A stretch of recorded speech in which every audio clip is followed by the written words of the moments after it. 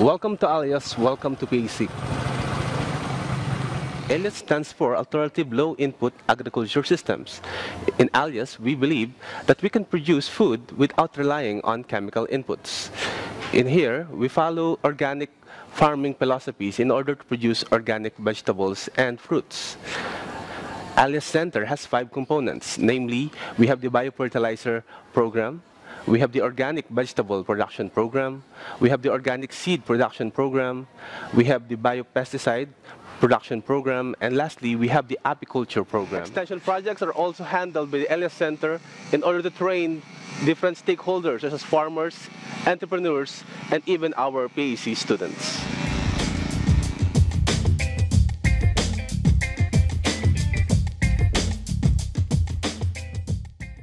In Alias, we also produce herbs following the same organic principles we applied in our vegetable production.